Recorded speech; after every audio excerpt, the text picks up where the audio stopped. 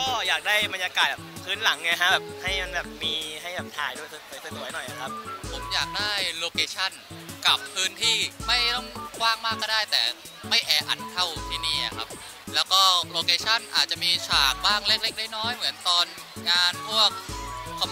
Comic Party หรืออะไรพวกนี้บ้างนิดๆหน่อยๆอะครับ background เปลี่ยนอะไรพวกนี้ให้ player เขาแบบมีอารมณ์แบบแบบใหม่ๆในการที่จะเข้าฉากเข้าอะไรพวกนี้ แล้วเราก็มาเจอตัวละครที่เราชอบนะคะ คือคิวเบค่ะ ก็อยากได้ที่แบบเอองานเป็นการเดินสะดวกสะดวกกว้างๆครับ แล้วก็มีโซนถ่ายรูปของคอสเพย์ครับแบบเออมีมุมให้ถ่ายโดยเฉพาะแบบโดยไม่ต้องไปตีกับตัวงานมันนะครับ งานจัดให้มันใหญ่ขึ้นนะคะ เพราะว่าอย่างในงานมันแออัดมาก แล้วก็แบบแต่ละบูธคือเขาตั้งกันเราคือแบบคนเขาก็เบียดเข้าไปเพราะว่าทางเดินมันค่อนข้างแคบอะค่ะ แล้วก็อย่างอย่างที่นี่ ยาบาลใช่ไหมคะคือเขาก็จะแบบจำกัดสถานที่นิดนึงอะค่ะในการใช้ในการถ่ายรูปอย่างเงี้ยค่ะ ก็ไม่ค่อยสะดวกเท่าไหร่ค่ะ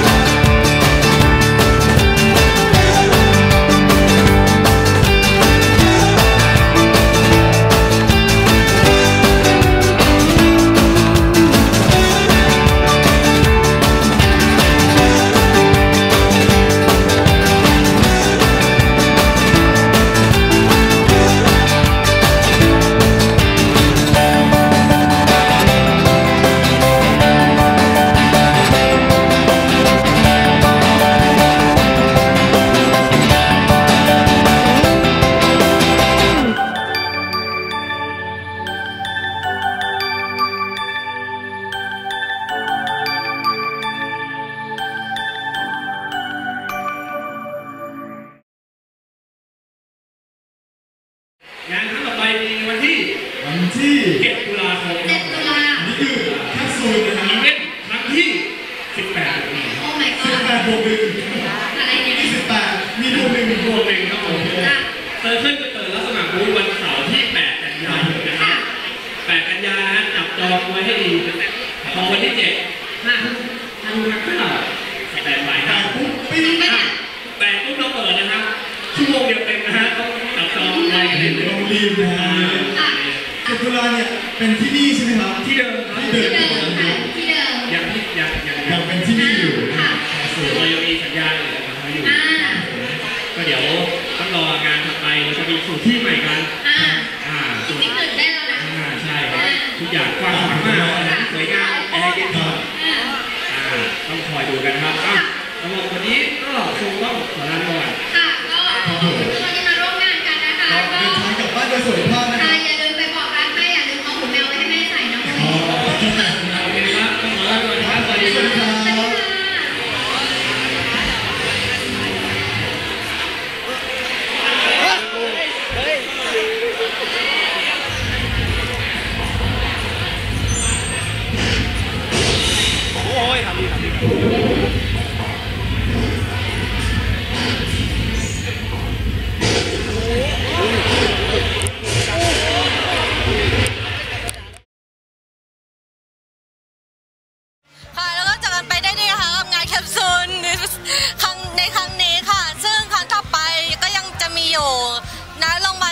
แห่งนี้ในวันที่ 7 ตุลาคม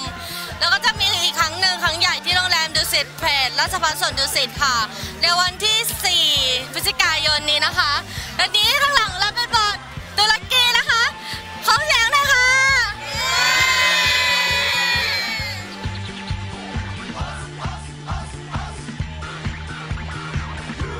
ตอนต่อไป go up